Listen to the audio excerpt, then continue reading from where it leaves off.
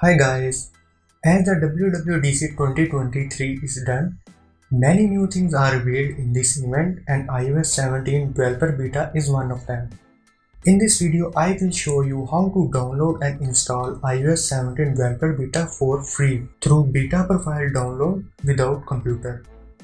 No paid Apple account is needed. No new Apple ID is required through the method I am sharing with you as other videos on YouTube showing the method with creating new Apple ID. This is the first iOS 17 developer beta and it's for the testing purpose only. You can report any bugs to the Apple directly.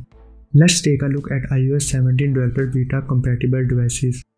You can see the all supported devices on the screen right now. The latest iOS 17 firmware does not support the iPhone 8, iPhone 8 Plus and iPhone X. Apple dropped the support for these devices as well this year. Now before I start the process, if you previously had installed iOS 16 beta on your device, you will see an install profile in the settings, check it and if it's there, delete that, then follow the process. So let's start the process to download and install iOS 17 developer beta through beta profile for free. Go to this website you will find the link in this video's description. Here, scroll down to this iOS 17 developer beta profile section and click on this link. This is where we will download the beta profile for iOS 17. Before you take any step towards the installation, take a complete backup of your device. Although it's unlikely that your data will be affected through the beta profile method, but it's better you backup your data. Go to this link, tap on see how it's done. Here tap on the first option, then tap on the allow button. It will download the profile in your device's settings. Once you do that, it will download your device's iOS 16 developer beta profile if it's supported. Yes, it's iOS 16 profile, but you will get iOS 17 developer beta through this. Keep following me in this video.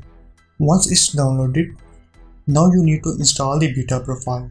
For that, go to settings. Here you will see this profile downloaded option. Tap on that and tap on the install button at the top. Put in the passcode if it asks. Then again on the install button at the top, then at the bottom as well. Once it's installed, a pop-up will show to restart the device. Do it for sure, it is necessary. Otherwise, you may not see a new update to be downloaded. Hello guys, if you have made this far in this video, hit the like button and the subscribe button. After the restart, wait for 2 to 3 minutes. Do not go into the settings directly after the restart. Once you have waited, now to get iOS 17 developer beta, go to settings, then in the general, software update. Here you will see a new option under the automatic updates section with the name beta updates. Here it is. If you do not see it, come back and go to this page again. Do this a few times and you will see it. Once you see this beta update section, tap on it. Then on the next page, select iOS 17 developer beta option and come back to the update page. Here you will see iOS 17 developer beta software to be downloaded. Tap on download and install and you will finally have it on your device.